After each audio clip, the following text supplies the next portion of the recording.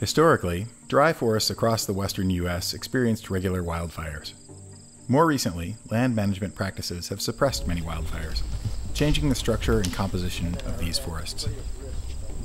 Typically, in those stands, fire came through like every 15, 20 years. Usually stayed on the ground and took out the little trees, um, the suppressed trees. It basically weeded the garden. Then we got good at fire suppression we actively tried to put them out as quick as they, as they got started. So in a stand like this, it probably hasn't seen fire for 70 or 80 years now. We've got overstocked stand conditions. From a habitat standpoint, the habitat is deteriorating quickly. The stand is now more susceptible to insects, to disease, and more importantly, wildfire we have a tremendous need for ecological restoration in our dry forests across the West. Our work on restoration, ecological restoration, is using tools like uh, thinning and prescribed fire to reintroduce disturbance into these forests and to promote their health and resilience. To remove overstocked growth and restore these forests to more natural conditions, land managers need to make decisions about which trees to remove and which trees to leave. What might look like randomness, a tree in a clearing, a clump of small to large trees, is actually a broader prescription for the structure of the forest on a much larger scale. Individuals, clumps, and openings, or ICO, is an approach to thinning that describes the variability that was present in forest structure prior to widespread fire suppression. ICO uses historic forest structure as a guide for restoring present day forests, making them more resilient to threats such as climate change, increased drought, and wildfire into the future.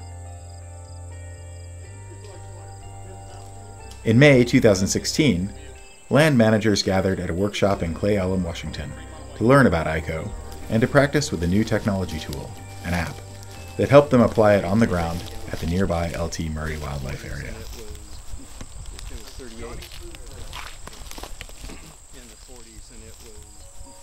At the workshop, we've brought in uh, foresters and timber marking crews from across eastern Washington. So they're coming here to Cle Elum to learn about uh, this approach to putting the, the principles and the approaches to restoring our dry forests on the ground. This is Washington Department of Fish and Wildlife land, the LT Murray Wildlife Area. Since it has been purchased, there's been no active timber management before we came in here and really started uh, actively cutting and managing, we're trying to recreate those stand conditions that existed then. The, the thought being that those provided the most for wildlife habitat and were sustainable.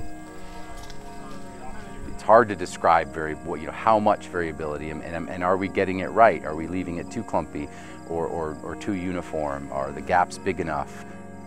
What ICO is, is it's a way of quantifying pattern from uh, historical forests that had frequent fire or, or actually current forests like in wilderness areas or places where they have an active fire regime where we have this desired structure and pattern we want. So we install a stem map in those areas or we go to areas where we do, we reconstruct what was there in 1890 when we had an active fire regime. And then we use a clumping algorithm to to figure out what proportion of the trees in those historical forests were in these widely spaced individuals, were in, in different sizes of clumps, and, and we have another tool to figure out what the openings uh, were like. And then we use those, those proportions, those numbers, to help design uh, our, our restoration prescriptions for, for our treatment units. And, and it's a fairly straightforward process. You figure out you know, how many trees you want to leave and then, and then what you know, how many individuals and how many clumps of different sizes you, you want to leave across a unit. During the summer of 2017, the unit marked with the ICO app during the May 2016 workshop will be thinned and land managers will reintroduce prescribed fire to maintain the ecosystem. As a result, the forest will be healthier, better prepared for future conditions, and will offer better habitat to native species. And when wildfires do occur, the forest will be able to thrive with fire versus burning up.